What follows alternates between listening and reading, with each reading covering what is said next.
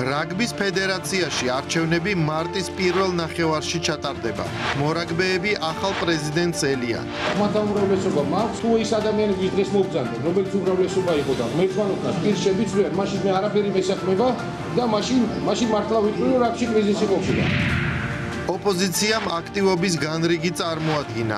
მოძრავი შიდა ტური თბილისში.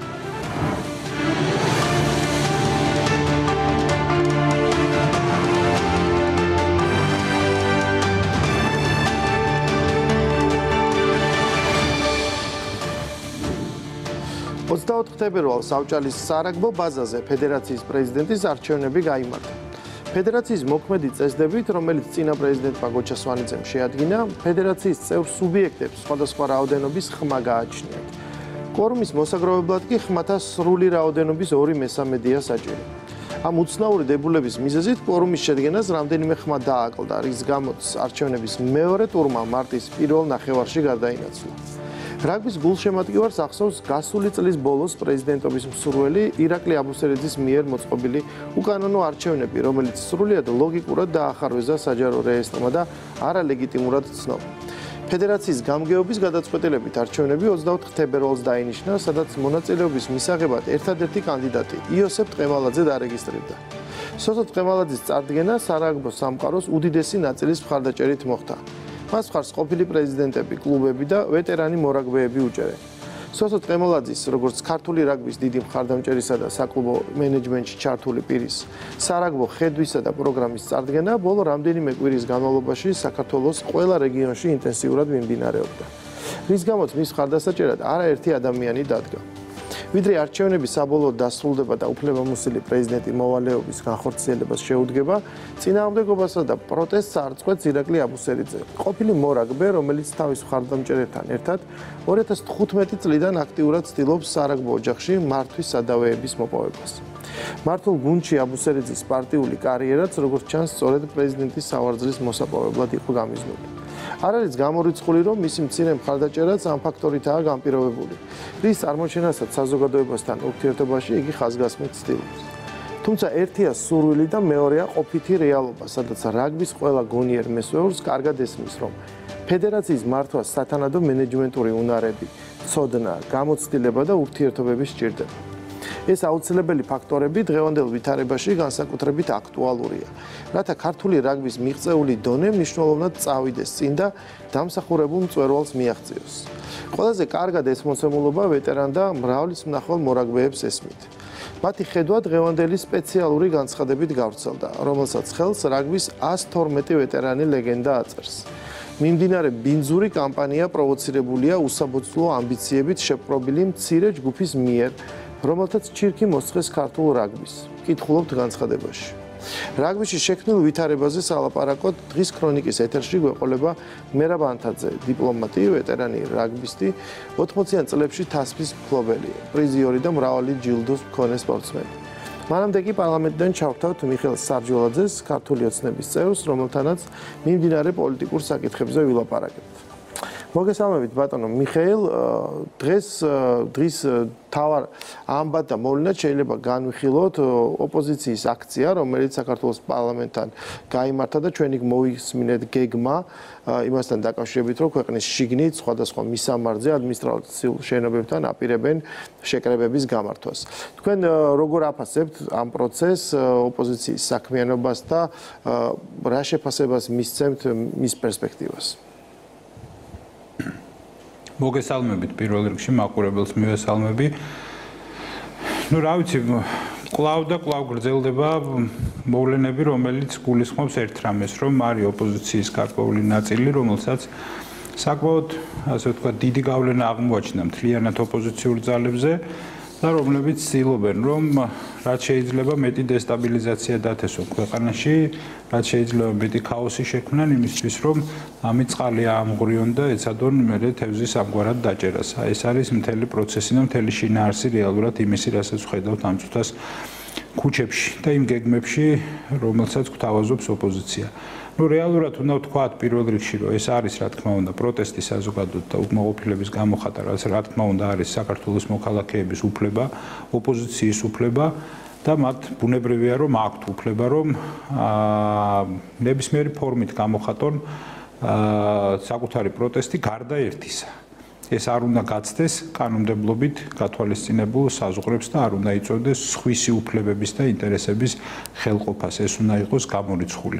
სხვა შემთხვევაში, რა თქმა უნდა, ეს მათი უფლებაა, რომ ამ ფორმით შეეწინააღმდეგონ იმას, რაც ჩვენ მიგვაჩნია, რომ სწორია. ესე მუშაობს დემოკრატია და ასეთი იქნება პროცესი. მაგრამ სამწუხაროა, რომ მე მაინდამაინც დიდი იმედი არ მაქვს ამ ადამიანების, ბევრი იმ ადამიანის კეთილგონიერებისა, რომელსაც ხედავთ აქციებზე როგორც ლიდერებს ამ საპროტესტო აქციებისა, რომ მათ ეყოფათ კეთილგონიერება და ეცდებიან რომ მაქსიმალურად ზედმიწევნით დაიცვან მოქმედი კანონმდებლობა. სამწუხარო რეალობაა ეს და ამისთვის მოუწოდებ რა თქმა უნდა ყველა სამართალდამცავ ორგანოს რომ მაქსიმალურად ყურადღებით მიაქციონ ყურადღება მიმდინარე პროცესებს რომ არც ერთი ნაბიჯით არ არ გაექცეთ, ასე ვთქვათ, ვინმეს ეხი იმ საზღვრებს გარეთ, რომელიც არის კანონმდებლობით დადგენილი ჩარჩოები. ბატონო მიხეილ, ჩვენ უყურებთ ორ ესეთ მოცემულობას, ერთის მხრივ არის ხოლმე, რაც ტელევიზიებში უსმენთ გამოსვლები ოპოზიციონერთა, ეს არის სტუდიებში, ქუჩაში მგზნებარე,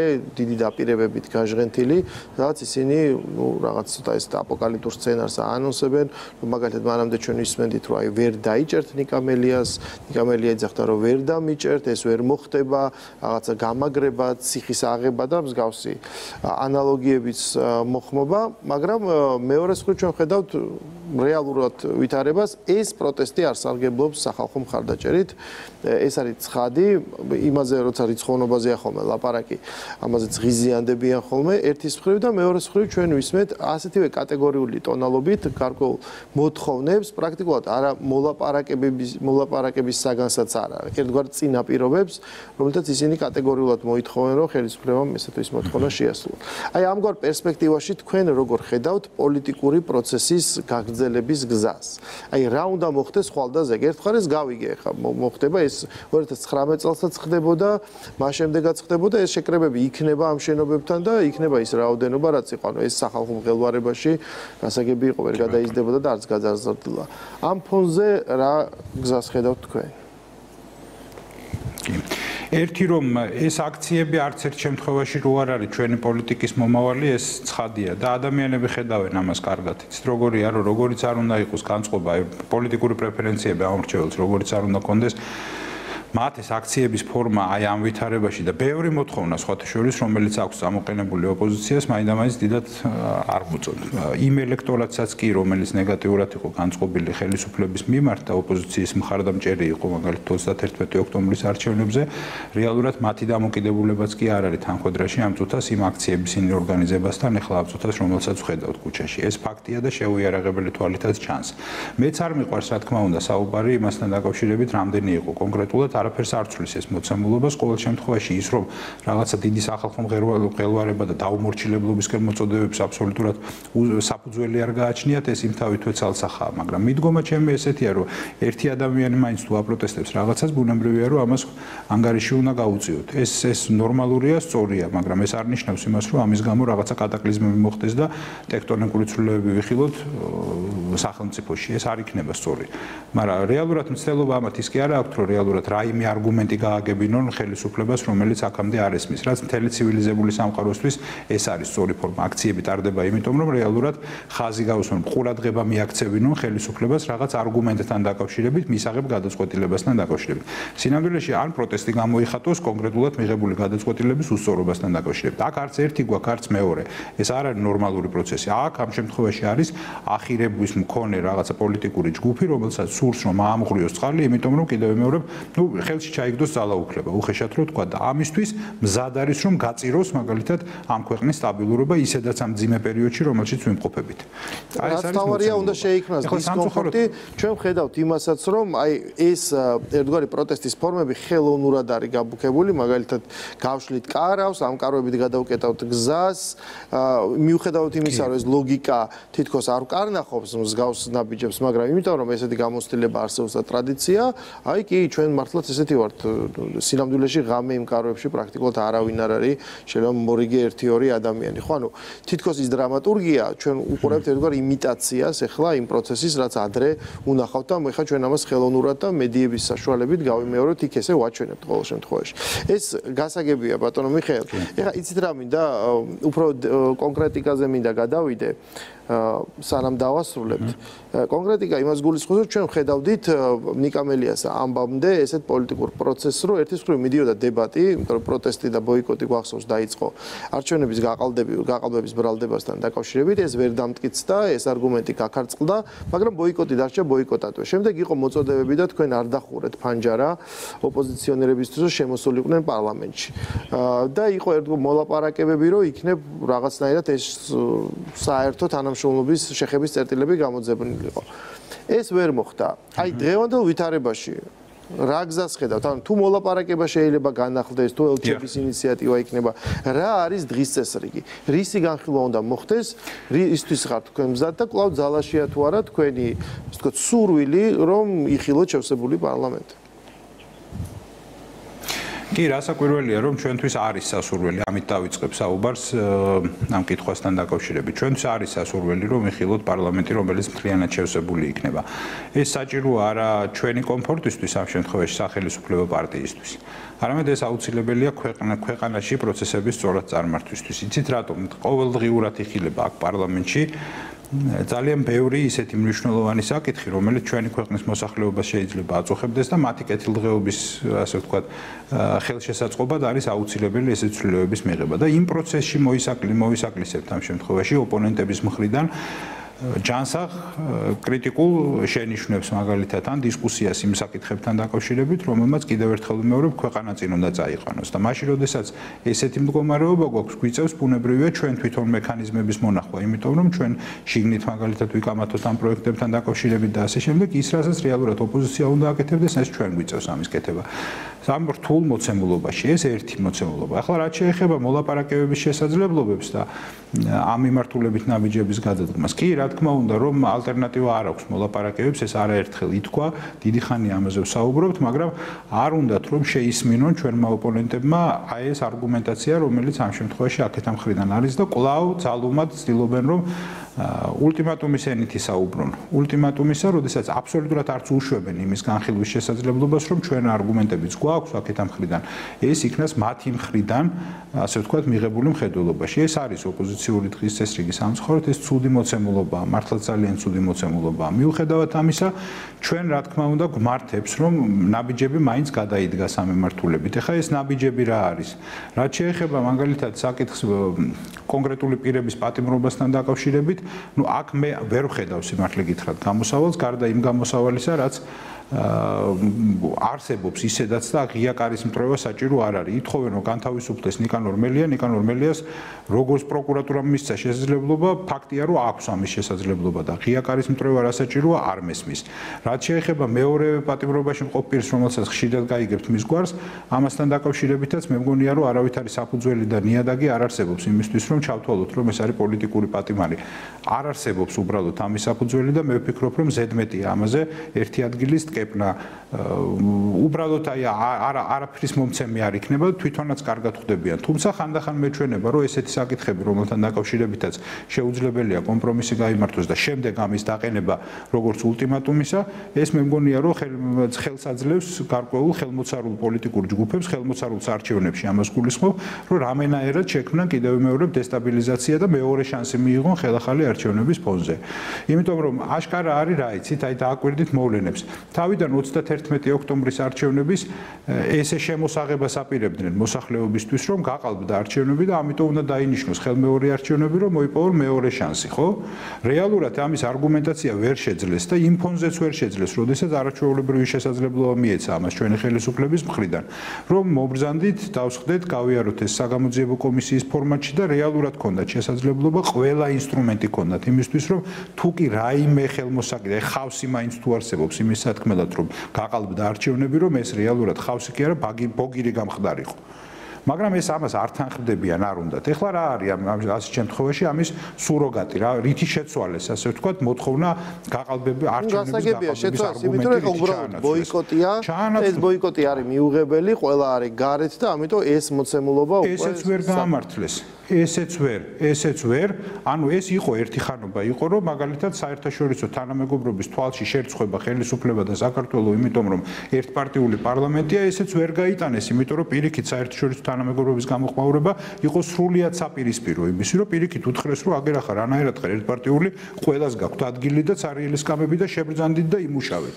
ესეთი იყო დამოკიდებულება. შემდეგ სავარაუდოდ სავარაუდოდ სიტუაციის გასამწვავებლად იყო გამიზნული ნიკამელიას ქმედება, იმიტომ რომ ღია კარი დაამტრია, შეეძლო გირაო გადაეხადა, რომელიც ასევე იტყუებოდა პრინციპში, რომ მას უკანონო დააკისრეს, გასაგები გახდა, რისთვისაც დააკისრეს და მან ეს არ გააკეთა, რათა მიიღოს სწორედ ის ფორმა შემდეგ მის დაკავებასაც მიიღო და ეს გამოიწვია სახალხო პროტესტი. თუმცა ჩვენ ვხედავთ, რომ ეს პროტესტი დღეს ქუჩაში არ არის, არიან მხოლოდ აქტივისტები. გასაგებია, ბატონო მიხეილ, დიდი მადლობა ჩვენ შევხედავთ და დავაკვირდებით როგორ გამითარდება ეს მოვლენები. მადლობა ჩართვისთვის. ჩვენ გადავინაცვლებთ. ყველაფერი იქნება კარგად. აა ჩვენ გადავინაცვლებთ მერაბ ანთაძესთან, დიპლომატთან, რაგბის კავშირის ყოფილ პრეზიდენტთან და დამსახურებულ სპორტსმენთან და ვეტერანთან. მოგესალმებით ბატონო მერაბ, ჩვენ გადაცემის მეორე ნაწილში, როგორც შესავალში აღნიშნეთ, ვიდა ვილაპარაკოთ რაგბში შექმნილ ვითარებაზე. ჩვენ ხედავთ, რომ ეს საპრეზიდენტო ფედერაციის პრეზიდენტობისთვის რბოლა ერთგვარად უკვე გაცდა გონივრულ ფარგლებს, იმიტომ რომ ხედავთ ერთი ჯგუფის მიერ მცდელობას, რომ ნებისმიერ ფასად ხელში ჩაიგდონ ეს ბერკეტები და ხედავთ სხვადასხვა აზრს და განხეთქილებას, რომლის პროპორციებიც ჯერ კიდევ კარგად არ ჩანს და აი დღეს გამოჩნდნენ ვეტერანი რაგბისტები 112-მა ადამიანმა მოაწერა ხელი მიმართვას განცხადებას, რომ რომელიც არის ძალიან კაცრი და მკაფიო და გმობს აი მთელ მსგავსობას, რაც ჩვენ ამ პროცესში ვიხილეთ. თუ შეიძლება კიდევ ერთხელ თქვენი პოზიცია ამ ყველა ვეტერანის სახელით. აა დიდი მადლობა პირველ რიგში მოგესალმები თქვენს მაყურებელს. აა აბსოლუტურად გეთანხმებით უკვე წელიწადზე მეტია რაც ჩვენ თვალს ვადევნებთ ამ კამპანიას, საპრეზიდენტო არჩევნების კამპანიას.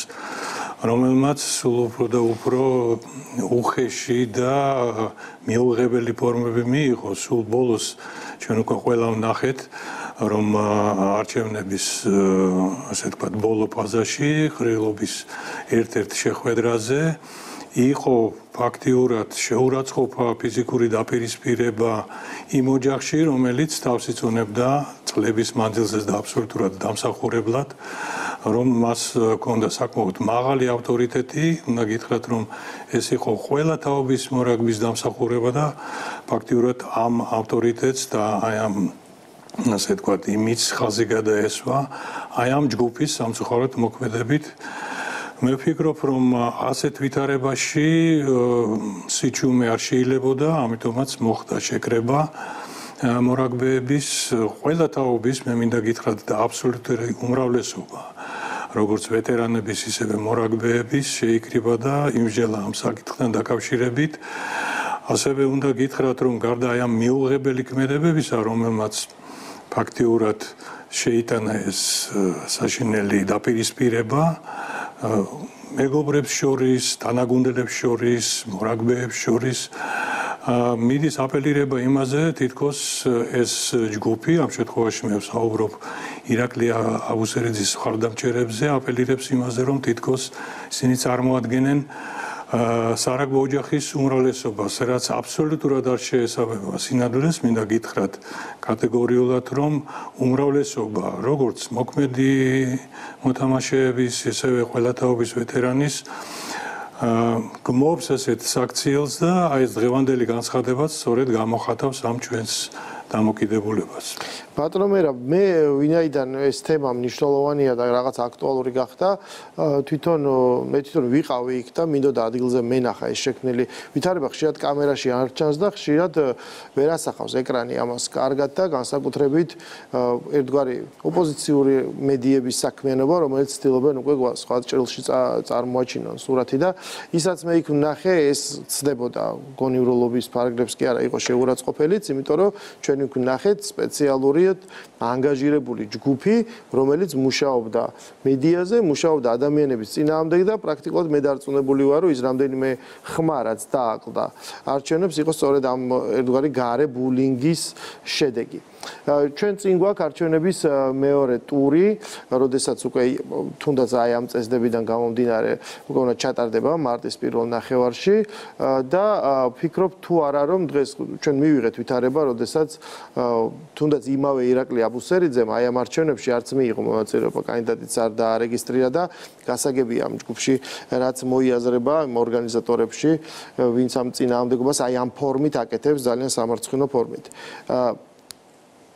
თუ ხარ იცნობთ ბატონ სოსო ტყემალაძეს, თუ ხარ შენახვედრი, თუ მოგისმენიათ მისი ხედვა რაკთან დაკავშირებით და თუნდაც აი ამ ვითარების გათვალისწინებით, რომელიც აუცილებლად უნდა დაიძლიოს, როგორ ხედავთ თქვენ ესეთი გამოცდილი ადამიანი რაგბის საომალოდ გაგზელების პერსპექტივას და რა შეუძლია ამისთვის გააკეთოს სოსო ტყემალაძეს?